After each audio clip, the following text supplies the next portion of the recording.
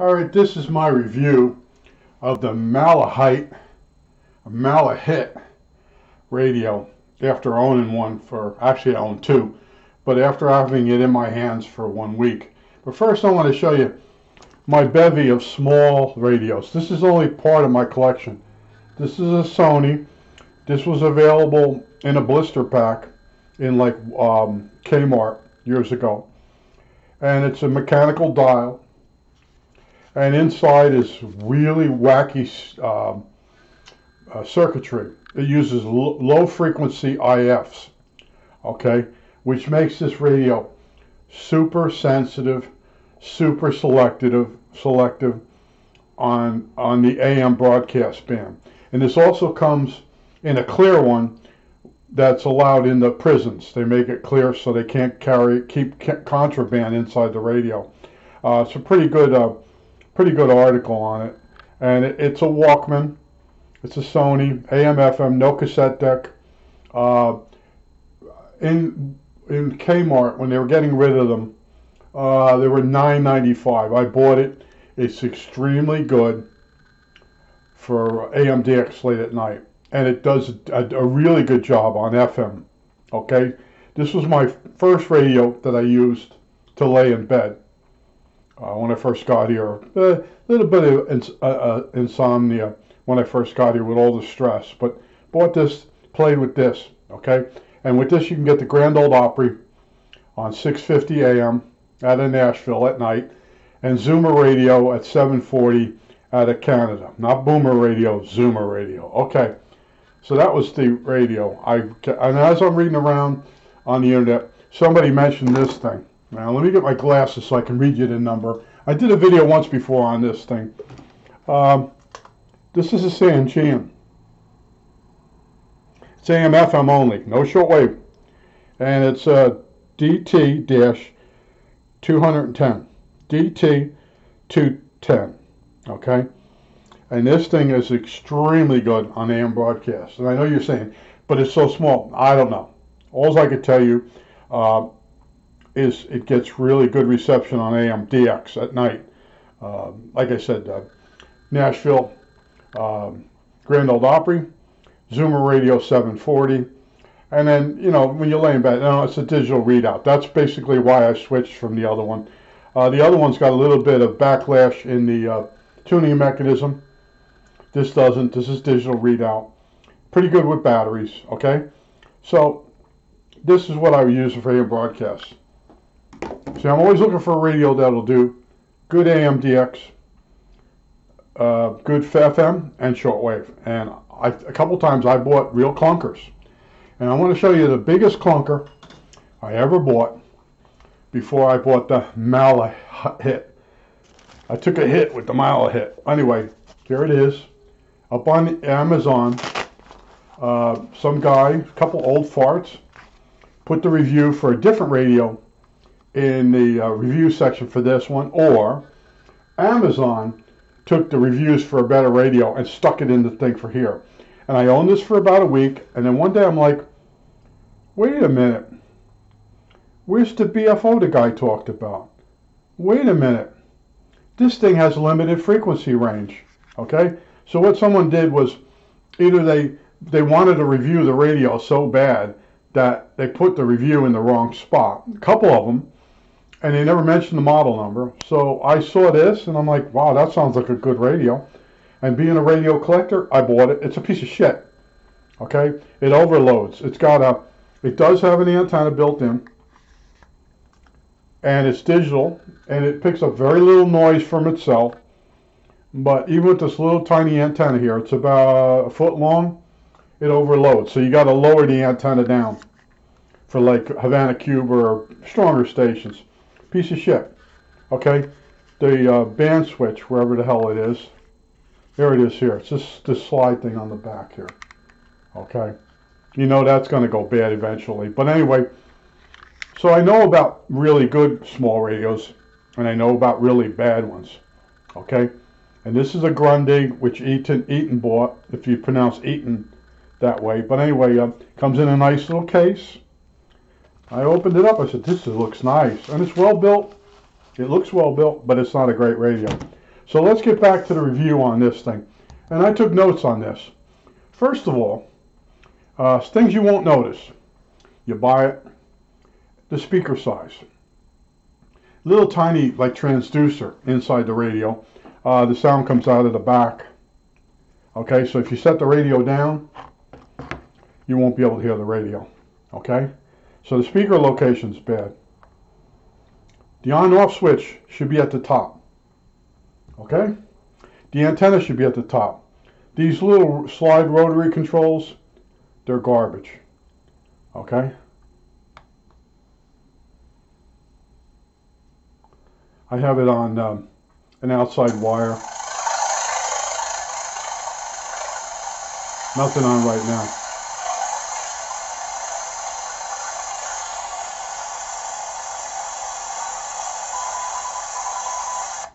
Um, I, I, was monitoring the Channel 19 CB just to get an idea how many people are still using CB on the on truckers, and they still are, mostly in Spanish though.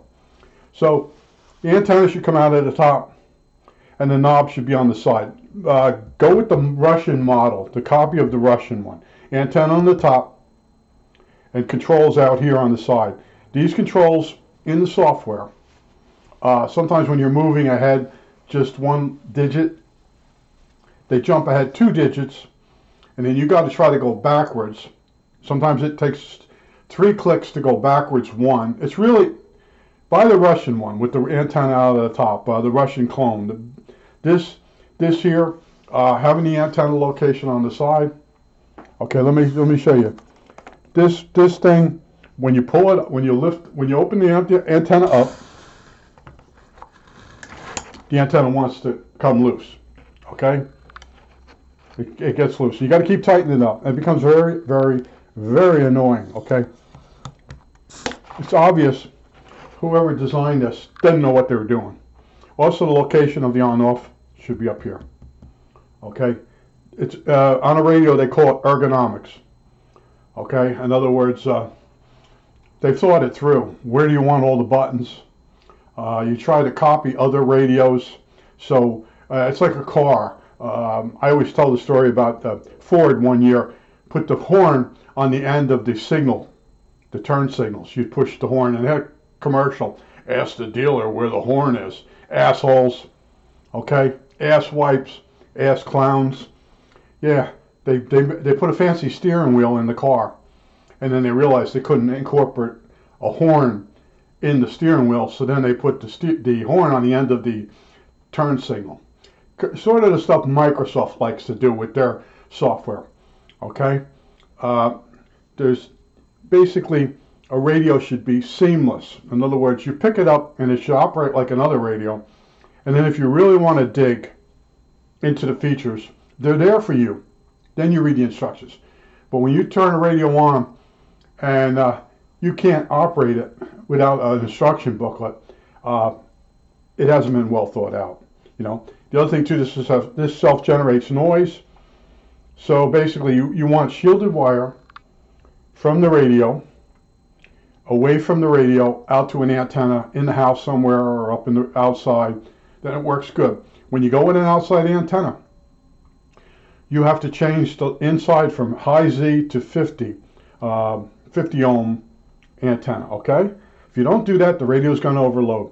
Also, this radio, even if you do that, you might have to put up um, uh, the attenuation because you'll hear ghosts. You'll be, listen, you'll, be, you'll be listening to the ham radio operators and in the background, you hear like a radio station playing. And it's up and down the entire van. That's because this is barn door wide. Okay? And uh, somebody says, well, it really isn't barn door wide. Well, let's just say it's got an overload problem, which causes it to get stations that aren't there. They're called ghosts. Okay? Now, the software bug in this one is different than the other one. The other one, you touch the, the, uh, the display for frequency with your finger, and immediately pops up with the, with the direct entry. But as you direct entry, the numbers, they're jumping. Uh, you go to go backwards, it deletes. It's, it's a piece of shit, that software. This one, you can't get into. It's very hard to get into the direct entry menu, but it's very good with your fingers. It doesn't jump, it doesn't double glitch. So they fixed that. And these these uh, these touch screens are not really uh, capacitive touch screens. They're uh, resistive. So this is black anodized. So what it wants, it wants a path of, of, conductivity between here and here. And this case is, is coded so it doesn't work as well. And also the circuit board where it slides in the ground, does it touch the case really good? But certain things that you touch, like you want to change from, from headphones to speaker, the other one, bing, bing, bing works. So some of these displays are a bit flaky. And I told you this thing generates noise. So on FM you'll be okay. Uh, CB you'll be okay. Certain frequencies it doesn't pick itself up. So you'll be okay. But like I said, get the one with the antenna comes out of the top because this thing keeps it keeps coming loose. Okay, and it, will it'll drive you nuts. Piece of junk. And uh, the knobs too. Like I said, the other one has the, the the Russian one. That's the one you want. I got two of these. These pieces are done. Uh, internal software bugs, uh, uh, direct entry touchscreen. I'm reading my notes here. Self-generating noise. So I just wanted to do a review. Um, one of the pluses of this radio is it gets a lot of different frequencies, and you need that these days because there's almost nothing on anymore. Uh, let's let's go through the the things you can AM broadcast. It won't DX. Uh, if you put an outside antenna on it, yeah, okay. You can DX with almost anything. But in other words, if you want to lay in bed with this thing on your on your chest and you you can see the display and the whole thing, um, forget AM DXing with it. Okay, you can use it for FM radio. You can use it for that. Now, shortwave, the really big stations, uh, you'll be able to get with just the whip antenna and uh, and a pair of headphones because you're not going to listen to this thing out of that speaker. It's it's hard, and uh, I have radios, small ones with speakers built in, and you can understand what the person's actually saying. With this, it's very tinny. Uh, maybe if you have younger ears, it'll be okay. You can put up with it, but it's basically a cell phone speaker. It's good for voice, not for music, you know. But uh, yeah, I just want to do a review after after I've owned it long enough. But what's happening is there's less and less on shortwave to listen to. So with this, technically, you could get police, okay, if they're not scrambled in your area. Uh, you can't get TV sound anymore because they've changed the way they do the sound on television. So you could get the space station as it goes over your house with the right antenna. Uh, I don't know if you, years ago you could get cell phones, uh, the old uh, trunk mount cell phones on cars. I don't think they use them anymore. Uh, I'm trying to think of all the things I used to use. Uh, my R71A, and I had the R7. I think believe it was an R7000. I had both of them, and they did uh, from kilohertz, 150 kilohertz up to gigahertz. And I think there was an adapter uh, for video. It might have been a different a Kenwood set. I don't I don't really remember anymore, but just want to do an update. Uh, if you buy one of these, you want the antenna out of here. You want the knobs on the side. Uh, you'll say, well, this will fit in my pocket better. Don't go there. Okay? That's what they want you to think. Okay? That antenna will make you nuts. Okay? Uh, the knob sticking out here will be a little bit more in your pocket if you do carry it in your pocket. And uh, there's, there's a, there's a lot of room for improvement on this radio. And they probably will. I know they're coming out with another model. Uh, but it's basically like if, uh, if you got it to CNC, before um, 3D uh, printing, there was CNC machines. And uh, they come out with this maker slide stuff. And I was producing plans for stuff made it from Home Depot and Lowe's. And uh, the maker slide just made it so much easier to bolt a machine together. And they come out with kits. And uh, they were they were they were they were hitting my numbers, you know, like starting out at 600 for a machine. But quickly, the machine was built too big. It was too flexible. And then they tried to stiffen it up, and the machine got more and more expensive. Uh, they had it belt driven. Then they changed the z-axis to to uh, to a, a, threaded rod. Uh, they kept eventually the machine. I won't say the names of them, but they got closer and closer to the more expensive machines, but they weren't as good as the more expensive machines. But they, they, they lured in a lot of people. And this is what this is. This does a lot. Okay? It does a lot of frequencies if you're just screwing around. And uh, if you're just starting out, You know, you might you might play with this for one or two days, and then you say, it's not my thing. You know, shortwave in the old days, uh, you could have an old radio, an old shortwave radio, and you went up and down that band, and it was loaded with countries, loaded, absolutely loaded. You know, you get up early in the morning, you could put on, uh, um, was it uh, uh, uh, Australia, okay, and they played uh, Waltzing Matilda. That was their uh, their th- their song that they would play before they would come on. Um, I, think it was called an intervale tone or intervale tune or intervale music or inter. Anyway, in between uh, programming, they would run the uh, music. Uh, I like a, like like bells or a music box playing the song "Waltzing Matilda." Radio Switzerland had a music box, and I actually I'm getting the actual music in my head right now.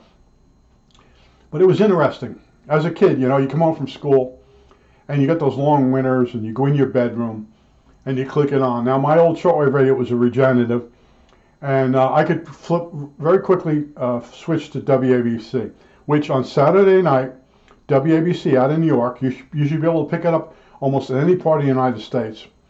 Uh, cousin Brucie, a disc jockey from back when I was a kid, he's still doing the show on Saturday night, the last I heard.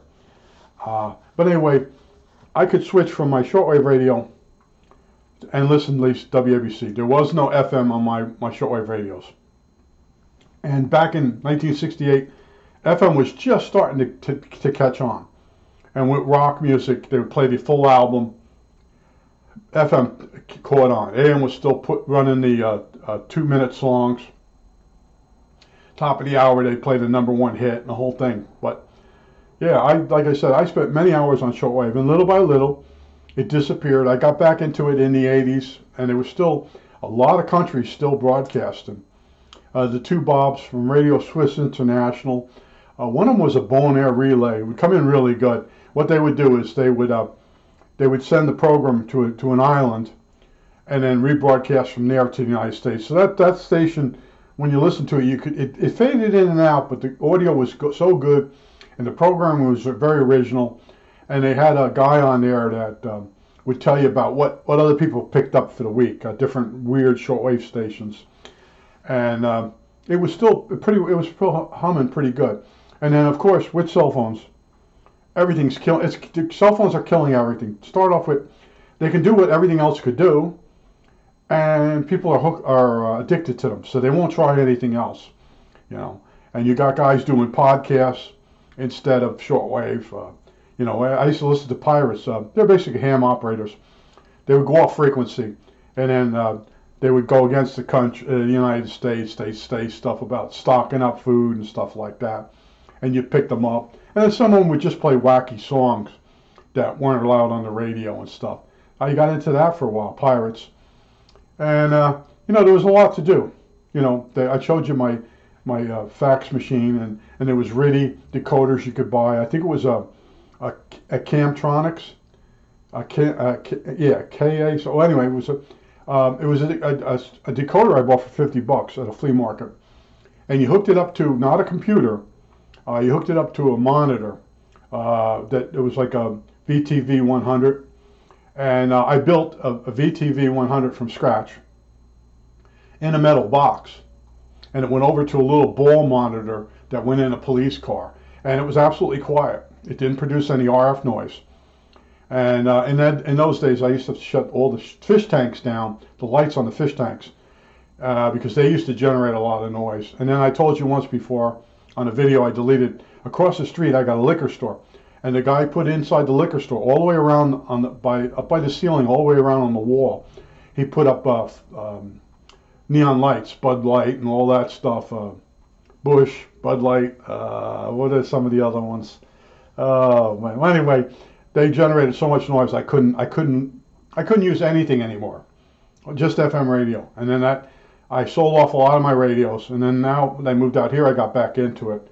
But there's noises out here. Um, like I told you, the um, antenna in the attic, it's got an amplifier on it, and uh, it, it, came with a switching supply. But I've changed that to an analog supply. My fish tank had a switch supply. I changed that And a few other things I know that when I'm done with them to unplug them so they don't interfere. But just wanted to show you to look at this this radio, you know, I'm, I'm sort of in my mind, I'm thinking about uh, in, in one of my videos, somebody went in. Uh, the people that comment, uh, they just want to talk and they want to tell you what they know and they make a comment and no one video can give you everything without editing, without a lot of work, and I'm not going to do that. But they always, the one thing you don't say, they have to, I have to like educate you, you know, like I don't know, you know. If you would have spent an hour with me and see all my radios, you know, and I can show you all the things I built, and most of the stuff I built, it went in the landfill already, okay? But like I said, the people that make comments, uh, you should have done this, you should have done, they don't do anything. That's what they do. They bother other people. I think that's it. All right, that's it.